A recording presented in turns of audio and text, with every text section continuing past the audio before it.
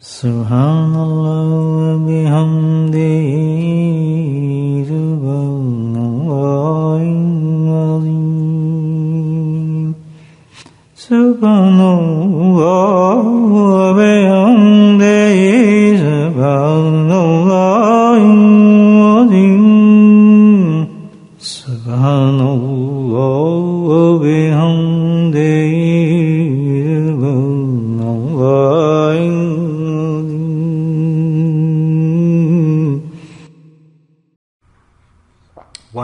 Individual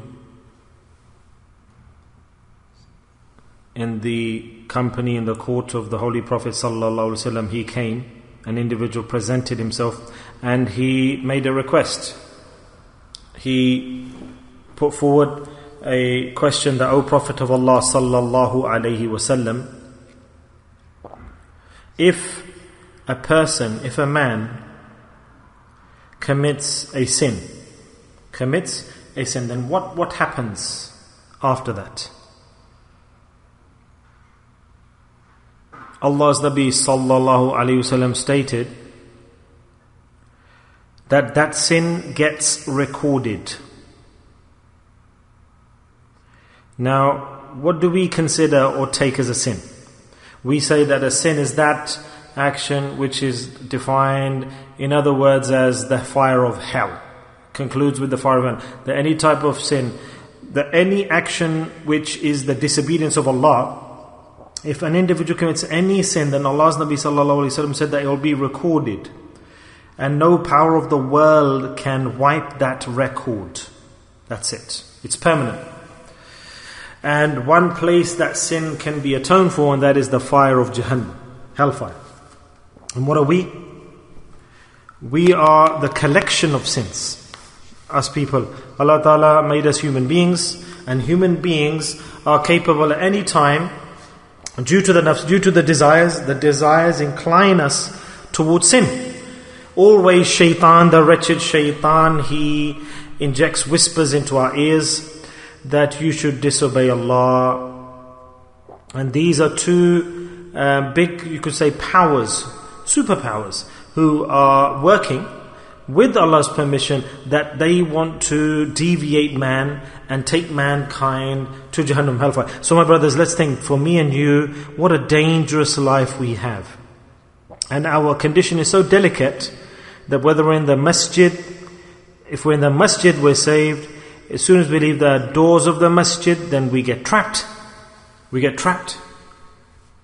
Rather, even in the masjid, a man gets trapped, and that's where the situation gets bad. And um, today, after Asr, after praying Asr, I was departing from this door, and there was a quarrel taking place between two brothers. I didn't listen, I departed, and they were good, pious people. They just prayed Salah, and they were red cross. They were cross and they were angry. May Allah Ta'ala have mercy. And that at that time is the influence of shaitan, where he takes a person from where to where. He just prayed salah, remembered Allah, did tasbih, asr salah. And can anyone think that good people, pious people, but it occurred. And not just this, even I could do this, you could do this. This is our, you could say, characteristic of, of going towards sin or doing wrong. What's the conclusion? And our Iman tells us this is our Iman belief. If we don't have Iman, then we are not Muslim. And our Iman tells us that there is Jahannam, hellfire, and Jannah, hell, uh, paradise. Isn't this the case? Yes. So look at our situation now, if you tell me. And this hadith I've presented, that it's recorded, the sin is recorded. So what happens after that? All the sins that we've committed prior, are they recorded or not? Will Allah Ta'ala not see? And will Allah Ta'ala not know? Will they not be presented to Allah? What will be the result? Guna, sin, Allah subhanahu wa ta'ala has kept the account of every sin, whether it's the sin from the hand, from the finger, from the tongue, from the ears, from your feet, by looking with your eyes. There is no action that you can say is away or detached from sin. And what is the adhab, the punishment? Extreme. And how qareeb, how close is death? Closer than we can ever imagine. So what should we do? What should we do? But Allah subhanahu wa ta'ala, our Rabb, who we have Iman in, our Lord, Allah subhanahu wa ta'ala is Rabbul Alameen. Allah is Rabbul Alameen. He is the Rabb of the whole alam, of the whole universe. And we are the ummati of Rasulullah sallallahu. And Nabi sallallahu is rahmatul lil alameen. So we have two rahmah. Allah subhanahu wa ta'ala and the Prophet sallallahu. We are between both. So how can we not be saved? The question does arise. No, will Allah ta'ala's rahmah leave us? in the cold or no where Rasulullah sallallahu lives in the cold. So we don't need to be upset. No need for sadness. I've told you the condition, the situation, our position. This is the position. No individual human being apart from the Prophet of Allah can claim that I can never sin. No one can claim this. No one can give this da'wah. That I will not sin. So the situation is just this, what I've said to you, that we are between two rahmas, you could say two pillars of rahmah, isn't it? Say subhanallah, subhanallah. So forget about jahannam. What can jahannam do? There's no danger. If only we become alert and pull ourselves together. If we hear the answer of the Prophet sallallahu wasallam, then our encouragement levels will shoot to the sky. I will say that this is such a good piece of news, massive piece of good news for us, that the human being who is feeling hopeless, will suddenly flip. We commit one sin, two sin, three sin, and sins pile up. The gap between the heavens and the earth fills up with sins. And then we think, oh, I'm into Jahannam, I'm destined for hell, and I'll go into the adhab of the qabr. My situation is such, we say to ourselves. But Rasulullah, the greatest personality who stated this, said that if you sin, if we sin, a person sins, then it will be recorded. And obviously this Sahabi was asking this question, he was representing the Ummah. So then, when Nabi Sallallahu said that the sin will be recorded, he became cold, cool. He said, if it's recorded, then after that what will happen? If that individual, now, he said to the Prophet Sallallahu this Sahabi, that if that individual says to his Rabb, to Allah, that Allah, I committed a sin, can you please forgive me? Then what will happen? Allah's Nabi Sallallahu said, the sin will be wiped away. Subhanallah. Very quickly, that sin which will take us to the most bottom pit of hell, and the person will be thrown there to burn. So this is the true, genuine effect of the Quran, that when a sin is burnt, because a mu'min will go to Jannah, eventually, ultimately. So Allah, will, Allah has prepared Jannah, and Jahannam purifies the sins, because the, only the pure can go to Jannah, no impure person can go to Jannah. So if there are sins stuck to our body, then we are impure, no angel comes near to us. We think it's a minor sin. Oh, well, he said this. I didn't say more than that. But what did I say? I didn't know what I said. I, I'm not even aware. And his life is destroyed, that person's life. Who, who rejects sins, no angel of mercy will come to that person because this is how quick the reaction is. When a person sins, or if he atones for his sins. So quickly a person can go onto the path of, of destruction or goodness. So why don't we accept this and bring ourselves around? We are so foolish that Allah subhanahu wa ta'ala has prepared subhanallah. As I said that we are between rahmas, two rahmas that we've committed a sin. It's been recorded. So should we now wait that, oh, I will wait until I go to hellfire. That will be, that purifies my uh, sins and that's the only way. No.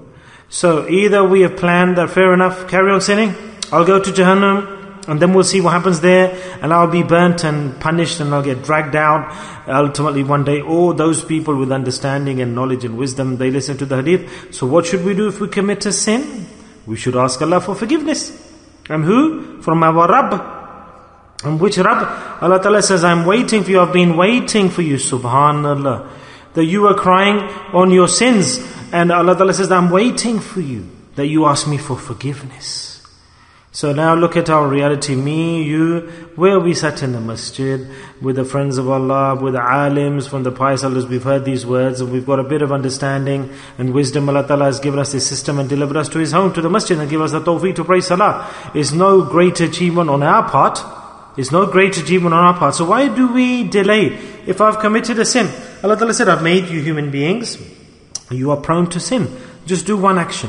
If you looked at a woman and she saw you and you're committing the sin, there is passion, there is nafs, there is lust, everything's present, and everything, a person becomes blind at that time. That he sees the woman, the girl, he goes forward, and the girl comes forward, the woman comes forward. They see the opportunity and they do zina. Destruction. And what's the punishment for zina? That the earth and the heavens they shake. The earth and the heavens shake when zina, adultery, fornication takes place. And today, in this day and age, forget it. There are so many forms and methods and ways of zina. Zina is so close to every individual. It's in our pocket. Before we used to hear, now zina is in the pocket within a second. It doesn't take a second for a person to become a zani nowadays, an adulterer. It's so close. Allah Ta'ala has, look, everything's in Allah's hands and a person does zina goes beyond that physically because the path is open. It's there. So why does a person then cry? Allah says, come to me, your Rabb, ask me for forgiveness, I will forgive you. Why don't we have yaqeen on this point? Yeah, okay, I've committed the sin, but then Allah Ta'ala says that a person becomes so hopeless, lacking of hope that I've committed a sin. How will I be forgiven? It's too hard. How can I go to the masjid? Oh, I've sinned. Oh, let's sin again.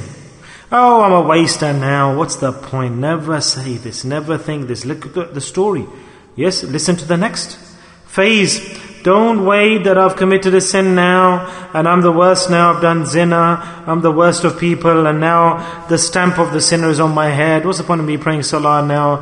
And shaitan makes that person feel so hopeless and downtrodden, he drags him to the ground. And the person thinks, I can't be saved now. Oh, says, Allah, if I ask for forgiveness, will you forgive me? Yes, Allah says, I will forgive you. And this is okay. And then the Sahabi said, Ya Rasulullah so he'll be forgiven if he asks for forgiveness? Yes. Then he said, if he commits the sin again, and he asked for forgiveness. Then Rasulullah said that if he does the sin again, then the, the record of the sin will be made again. So if he does zina, then he should do another action after that, which is ask for forgiveness. And he'll be forgiven. If he commits a sin again, Allah's Nabi said if he sins again, then the sin will be recorded again. And if he says again Allah forgive me, then Rasulullah replied that he will be forgiven again. Sin will be wiped away again. So rather than being hopeless and feeling totally at loss, then there's a solution. If you've sinned, if I sin, say, oh, forget it. Forget the sin. Allah ask for forgiveness. Allah, I've made a mistake. Allah Ta'ala, I've made an extreme mistake. You'll be totally pure and clean and you'll become a good person pious. You don't need for anybody to comment on you or criticize. If Allah Rabbul Alameen uh, forgives, then why do you worry about other people's comments? You have to give the accounts to Allah or other people. If people say, oh, you're a thief and I've seen you, thief, I've seen you steal, laugh at that person say, Allah who has seen this has testified that I have wiped away your sin. So forget about you. You are wasting your own time and you're trying to waste mine. So by telling me this, you are wasting your own time. I'm forgiven. Allah Ta'ala has forgiven me. Subhanallah. So how great a point this is that we've learned today. Then Allah's Nabi sallallahu alaihi wasallam said that listen, you keep on repeating I sin, then what will happen? Then if I ask for forgiveness, what will happen? Rasulullah said Allah subhanahu wa ta'ala doesn't tire forgiving. You will get tired of asking for forgiveness, but Allah will not tire forgiving the people. We are human beings like this. This is our shan of this ummah. So brothers, where there is such a big cure that every moment, even if the sin takes place, Allah Ta'ala says, I will forgive you every second. We have the key to the padlock. We have the cure, we have the diamond, the pearl. Then I consider that no man or woman should ever be going towards Jahannam. And Allah's Nabi Sallallahu said, How long is this door of forgiveness open for? It will not slam shut. No, as long as Qiyamah does not arrive, Allah will keep the doors of forgiveness open. Subhanallah. Fully open fully open. Just one thing we need to grab hold of is that with our Rabb we need to maintain a link. Sin, ask for forgiveness. Sin, ask for forgiveness. Sin, ask for forgiveness. And at the type of sin, keep three things in front of you. Yes, remember that when you're asking for forgiveness, there are three things that are there. When we start this, then definitely three things will occur. Number one, first and foremost, look here, this is very important and essential, is regret. When we sin, we need to have the feel of, feeling of remorse, regret. For example, you've seen that somebody pickpocketed somebody else. He had a mobile, I put my hand in the pocket and took his phone and he saw. Or even if he didn't see. He's seen that, oh, that he's taken my mobile phone. Now. He comes to me and says, oh, you have stolen my mobile phone. And will you not feel ashamed? Will I not feel ashamed? Which person is there who will not be ashamed that, oh, he's realized I've stolen. And in that shame, he becomes so regretful. He says, my friend, I'm sorry. Forgive me. I made a big mistake. Doesn't a person say this? So, if we are so ashamed in front of the third party who's seen us steal, his items and possessions. So with Allah, our Rabb, we have to go to, He's our Khaliq, He's our Creator, He's our Malik, He's our Qadir. So when a person disobeys Allah, will he not feel ashamed? Will he not feel badly ashamed when he meets Allah, when he knows Allah knows? Such uh, uh, Allah Ta'ala, the, Allah is the greatest, Allah, our Lord, the Creator, the Master. Will we not feel ashamed if we have sinned? Uh, must be a hard-hearted person, like a rock-hearted person. For example, I sin in front of a person, or steal, or do something against a person that's wrong, and I'm ashamed. Then will I not be feel ashamed when Allah Ta'ala knows about my sins? Automatically I should feel ashamed. Allah did not order this to me, and I did this. Allah said, don't do this, and I made a mistake. I erred. Allah, my Rabb is watching me, looking at me. How sad, how bad. And this Allah Ta'ala likes the feeling of regret, acceptance. Allah Ta'ala doesn't like um, and stubbornness and haughtiness and rejection. Just to have this feeling that Allah is watching me, He's seeing me, I've disobeyed, I've sinned, and how sad, how shameful a person is doing a sin. And while he's sinning, another person sees him sin. How shameful he'll feel. Though he's seen me sinning. Oh, I feel so bad. Well, he won't feel like going in front of that person because he's got the feeling of shame. Such a pious person, and I sinned in front of this person, I feel ashamed. So, in front of Allah, Rabbul Alameen, we've sinned. Will we not feel bad and shame? Of course we will. So, the first thing is regret Allah, I've made a big mistake and I did a wrong action. The nafs made me do this. We should feel this regret and remorse. After that, the second is the first thing when a person sins. Principle number one, you should feel regret. And number two, straight away to submit to Allah subhanahu wa ta'ala. Don't delay, straight away, immediately.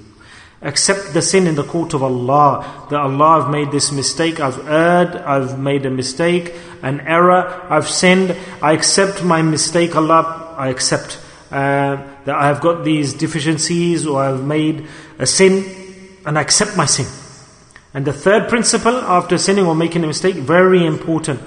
Yes, is make a complete intention, not with one millimeter, one percentage of deficiency. No, that, for example, you think, no, it's alright, I'm not going to leave this. No. 100% make an intention with confidence that inshallah Allah, I will not repeat this sin, forgive me.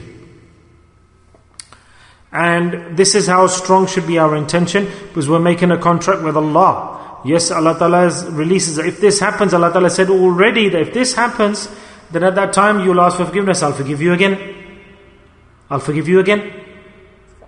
If you if you repeat the mistake, I'll forgive you. Allah says, so the, the the criminal who's committed the sin says, Allah, I will not commit the sin again. I've made a mistake. What will I do now? And don't be afraid that, oh, I might go back to the sin. Uh, is the door open? If I do again, if I sin again, what will happen? I'm upset. No, the, the question doesn't arise that I will think of sin again. So those three principles that we just discussed should happen straight away after sinning. You shouldn't take a second. I've sinned. I bow my head, I sit in the car, I'm on the road, on the pavement. Don't wait. I'll go to the masjid first, to the mosque, pray two rakat nafal. No, there's no guarantee of death. No guarantee when will I die. So easy a method, no wudu needed, nothing. Allah is near to us all the time. Allah is very close to us. Allah sees our sins and He sees us asking for forgiveness. Subhanallah. Subhanallah, we don't need to get any intermediary influence, phoning someone for help, or a wakil, or a solicitor, or a lawyer. No need. You are your own lawyer. I am my own solicitor. And we have permission all the time. Whenever we want, we can go and knock on the door of the supreme judge of all. Allah subhanahu wa ta'ala, what a judge. Allah's got the whole universe in control. And even the fly is afraid of Allah, the mosquitoes afraid of Allah, the fish are afraid of Allah, the leaves are afraid of Allah. The whole universe it shakes, it is eh, in awe of Allah. And Allah says, I give you ijazah, a human being, that I give you permission, I'm so close to you whenever you want, day, night, morning, at any time, you have no restriction, come and knock on my door, I will respond to you, Allah says. Subhanallah. Even then, we prefer, I'd rather go to hellfire, we say. How sad. What a pathetic mentality, negative, negative. So Allah Ta'ala says, that what occurs after that? Allah Ta'ala says that Allah has taken the benefit to the extreme in this verse. Allah says, You are just running after forgiveness, forgiveness. That's not where the, the road ends. Allah says, See forgiveness. You ask for forgiveness. I will forgive. And Allah says, I'll tell you the next scene. Say, Subhanallah. Subhanallah. Allah Ta'ala says, Your link is with that Nabi who is my mahbub. The Prophet Muhammad Sallallahu is my beloved. He is my beloved. My, and he's the greatest. And you are his ummati. What is it that I will not give to you? Allah says, فَأُولَٰئِكَ يُبَدِّلُ اللَّهِ سَيِّئَةُ الْحَسَنِ Look at this point. What a great statement. Allah says, وَكَانَ غَفُورٌ رَحِيمًا That it's not just this that I will forgive your sins, Allah Ta'ala says. It's not just this, it doesn't stop there. The back doesn't stop there. Allah says, I'm Rahim. And what is the attribute of Rahim? Subhanallah.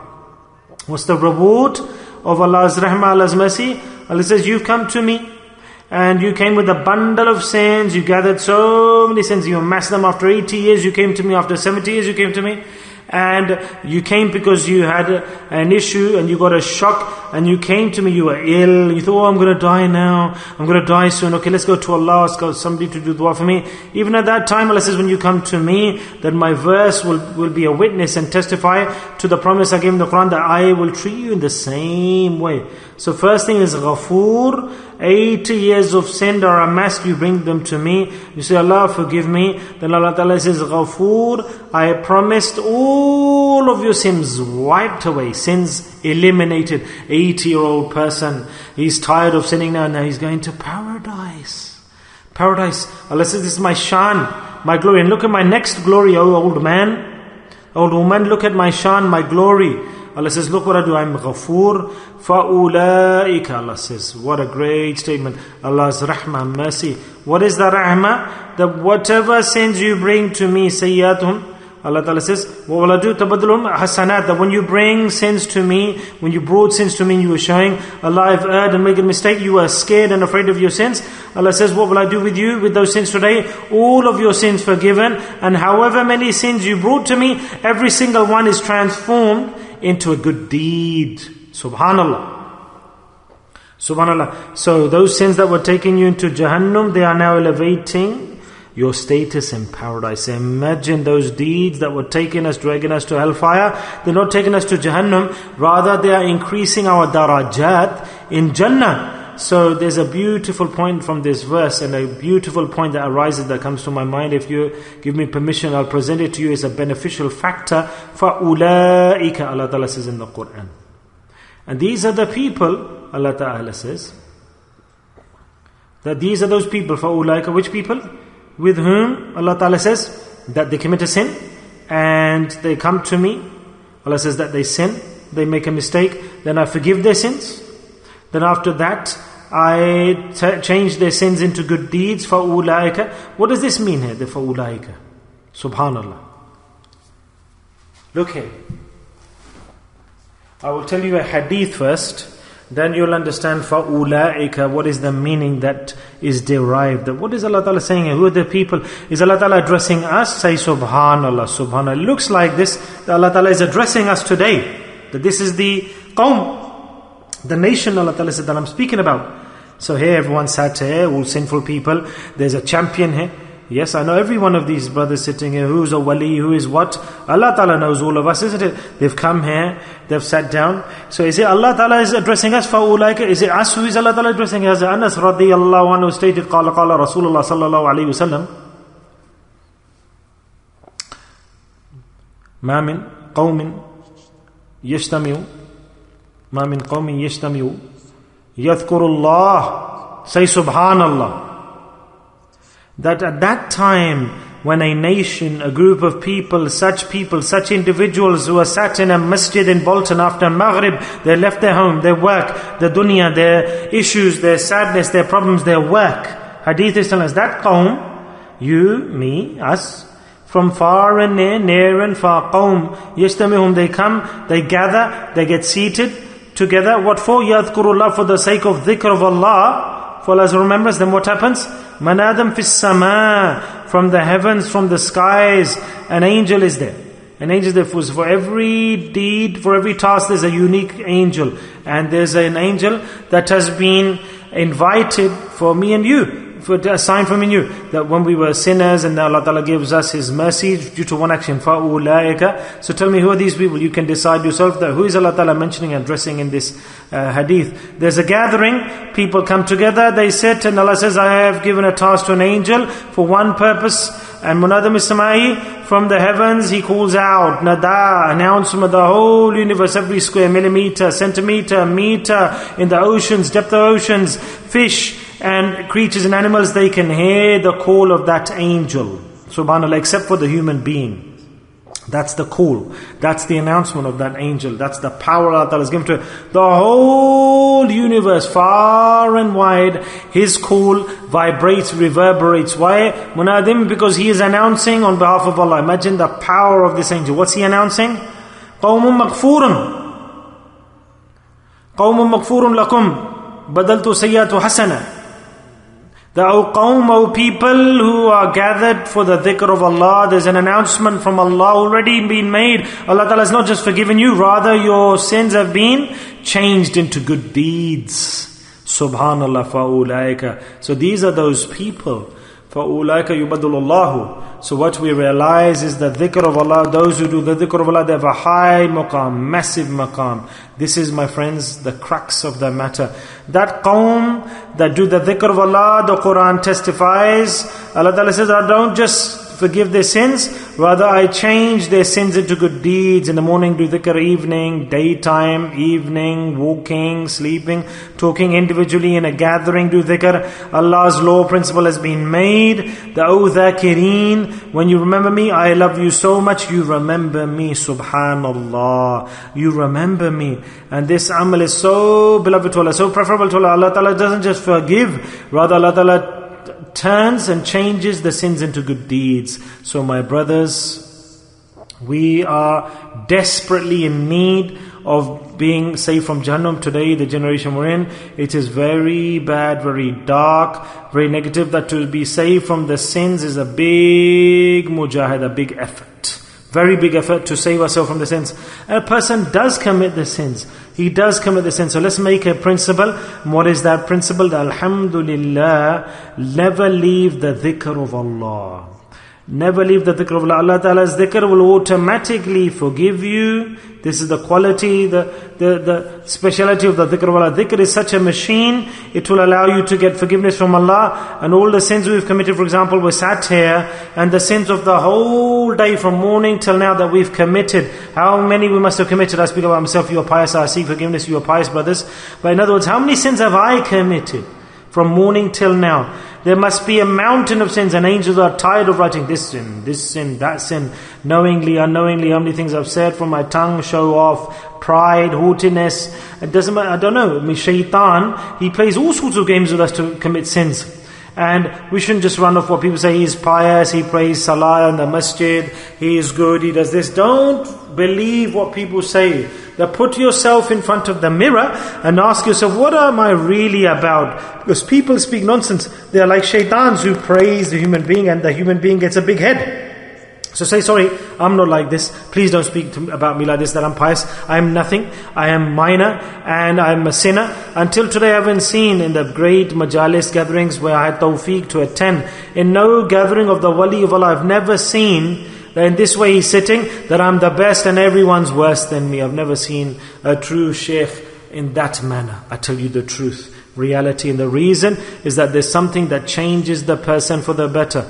Not for a second. Never did they have, never should we have an iota of an intention that I think I'm better than others. In any case, in any subject, doesn't matter if I'm an alim, doesn't matter if I'm a high ranked muhaddith, if a normal person without knowledge comes, I should say I am worse than you, I have no ilm. I swear by Allah, this is how our mindset should be. The brother, I don't have ilm of this, that you know better than me.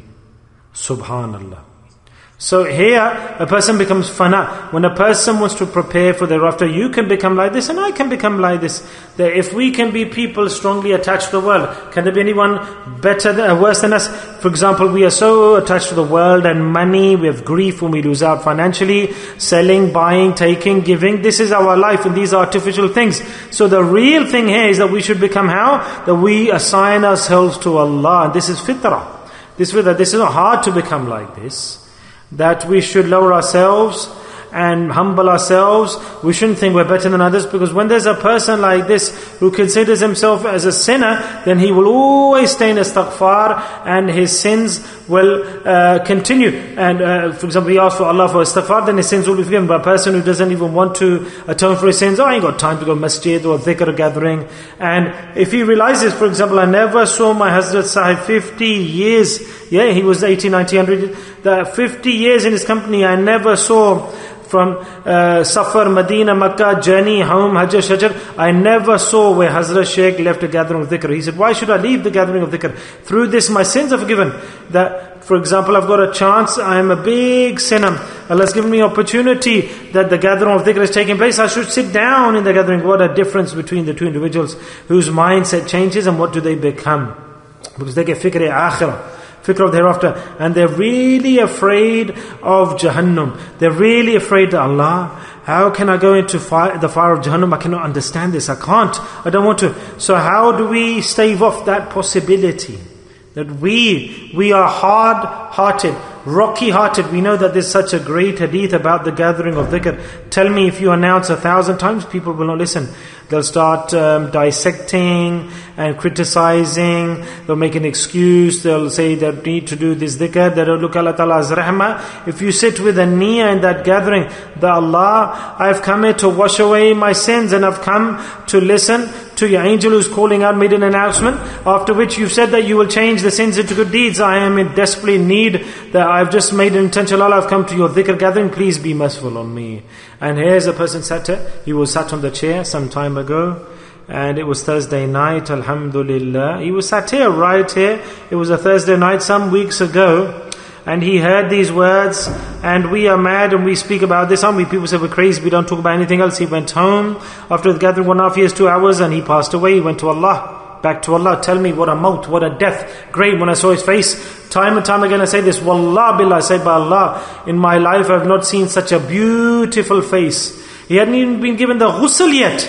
And uh, Mangera, he took me there by force and I was shocked, amazed there. I said, Is that brother? I knew him very well. And time and time again I kept glancing at his face. I want to see it again. I want to see his face again. So, he had sakina, he had peace on his face. Why? Because he departed from this world with good news. Is this a lie? What we've discussed is the Quran line. Allah says that all of you, if you come to me, I will transform and translate and change your sins into good deeds. Allah's Nabi said, Who? Those people who make a gathering for the dhikr of Allah. For those people, Allah says, I've prepared angels. And look at Fir'aun and Nimrud. And those people, they say, Oh, no, no, no, no, we don't need to do any good deeds. We don't need to do dhikr. This is a small gathering. Is this a small gathering? That we're sat in here? Never think like this. Never deprioritize this. Allah has given us health. Hazrat ibn Abbas radiallahu anhu said that the first question that me and you will be grabbed by the necks, necks and asked, the first ni'mah of Allah, the first gift of Allah, favor of Allah that will be asked about. Do you know what it is? Hazrat ibn Abbas radiallahu anhu stated this hadith. What a great status he had. And the first ni'mah, the first gift of Allah that He's given to us that will ask us about to account for is Allah will say, I gave you health. Did you not avail those opportunities that I gave to you that would have given you forgiveness? Say Subhanallah. So dhikr halakat, gatherings of dhikr, we have these hadith in which Allah Ta'ala has given a guarantee. Sit, forgiveness, sit, forgiveness. Allah says, I gave you health. Oh animals, I gave you health for this reason, what? To make money. I gave you health for what reason? To fill your treasure chests tills, to make houses, to look at your stomachs, and to look at lust and passion and do sins? Is this why I gave you health? Allah says, so that you, I said I gave you, Allah says I gave you health did I, did I give you health so you can become famous in the world and be a bandit and a criminal and you fight with people and quarrel with people? Is this why I gave you health? Allah Ta'ala says, Allah says, I gave you health for this reason, that on every few footsteps go to the masjid. In the house of Allah there's a gathering and can any human being dare to do my dhikr? Allah says, Allah says, I gave you the power, ability and fadl and karam that I allow you to come to my home and sit in the gathering to do my dhikr. Go, run, run, run. Allah Ta'ala says, run and, and, and sprint towards the gatherings of dhikr. But who hears this call? If nobody hears the call of the angel, then who will listen to Allah's call? No, I don't have time. I've got to do another action. I've got to do X, Y, Z. I'm busy at this time. I'm forced not to come. This is not fard, is it? I've prayed salah. It's too hard. I've done tilawat of the Quran. I've done this and that. I don't need to do anything else. Astaghfirullah. My friends, these moments will bear, uh, testify. Don't look at the sins. Don't look at the sins. Look at the power of Allah's rahmah. This is rahmah, isn't it? And this is the name of Rahmah. What else can, the, can Rahmah be? Tell me. That on every few footsteps we have maqan, on our homes we have uh, places, and Allah Ta'ala allows us to sit and to remember Him and to elevate His name and to do His dhikr. the whole gap between the heavens and the earth is filled up. And this is the night of Jummah, and the sins are being removed. Shaban, night of Jummah, your destiny is being transformed. And today, after this forgiveness and after this tawbah, we should promise Allah Ramadan's about to come. I won't leave my salah with takbir ula. I won't leave the faraid. I won't leave compulsory actions. I won't go towards sin. I won't listen to music and singing. And until Ramadan, Allah says, uh, the individual says, Allah, I do tawbah, I repent, and inshallah after some weeks, He will emanate from that blessed month. Uh, after a few weeks, we'll enter into the ocean of rahmah. We will dive into it. What a great chance. Can we get tawbah like this anywhere else, anytime? Do we promise, my brothers? After today, do tawbah. Live with tawbah. Your sins have been forgiven. If you have yaqeen in the words of the Quran and the Hadith, then our sins have been wiped, cleaned. Shahada has been written. Angels have recorded that these people are forgiven. There will be no sin on our bodies. Sayyidul Amal, Allah says that I have wiped away your sins.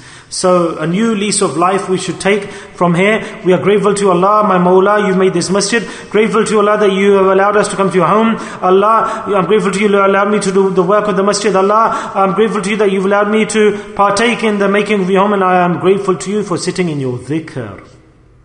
So this is the maqam of shukr. Uh, this could not have been a masjid. Maybe, maybe we wouldn't have sat down. Poor, the poor souls before us have left and go to the masjid. They've not gone empty-handed. The same thawab will go to all those people who, with a good intention, they placed down the foundations of this masjid. They gave money and who did planning that there should be a masjid there. Today in the graves, the graves are alive because they had good niyyah, good intention. So two things we need to do. I just say it's your choice. There's no forcing here. Number one, that because Shaban is progressing, is giving us a lot, is giving us a preparation of Ramadan after today's Tawbah. Who knows will get life or not. As I said, the brother was sitting on the chair. In the morning he was no more. And the first we should do tawbah today with this niyyah. Until Ramadan I will control myself. The rest is your choice Allah. Then we've got another opportunity. Then I'll sit in the masjid of dhikr again. Then the opportunity will come. Then I'll ask for forgiveness again. So don't leave salah my brothers. Don't leave prayer five times salah in congregation. And the next point is that be extremely cautious and stay away from sin. Music, singing, banging, this and that. And nafs say, no, I've done tawbah until Ramadan and during Ramadan I won't do this. And in those people's homes where there are these wasteful activities, put a veil, a curtain, cloth over these things for six, seven weeks for the sake of Allah. This is very valuable moment that's about to come up. Put the veil over there. Six, seven weeks, we're not even going to touch it. Let it stay there the way it is and put the veil over it. Put the veil over it. Rather, with it, what should we do? On top of that, Alhamdulillah, do another great action. In comparison to that, put out, uh, for example, uh, a platform and put a rail and two Qurans in English and Urdu. Uh, Arabic and there, um, subhanallah, and put this as a barrier between you and shaitan that not this, this will go. Whenever I feel like listening to something bad, this program, watching evil, then I will sit down and I'll start reciting the Quran. Subhanallah. So have a bit of courage, determination. If Allah is so merciful to us, He's forgiven us, then we need to try as well, isn't it? And the next point, the next point is that wherever dhikr of Allah you see, notice, hear about, there's a very simple bargain, simple transaction. I've just told you one direction of dhikr, and you don't know what's the reward. So whenever you see there's a gathering of dhikr, just stay silent, close your eyes and sit in the gathering. Don't be lazy. It's in the morning here and in the evening. If it's not in the evening here, then it's in some other masjid in the town. Drive and you will reach them. Until Ramadan, do this inshallah. And then you'll have such a great Ramadan that will pass, subhanAllah. Such a great Ramadan that you will think that how did my month of Ramadan pass? That's it, two actions. Be regular in salah and adhere to the gatherings of dhikr. Doesn't matter what come may, say I'm going to sit down, my sins are being forgiven. Alhamdulillah, when the sins are purified, then his rank elevates with the fadl of Allah, and then Allah Ta'ala's rewards descend onto that person for thereafter. And then do du'as to Allah, whatever you want from Allah. Allah says, I listen to you and I will give to you. Will we do this, my friends? Insha'Allah.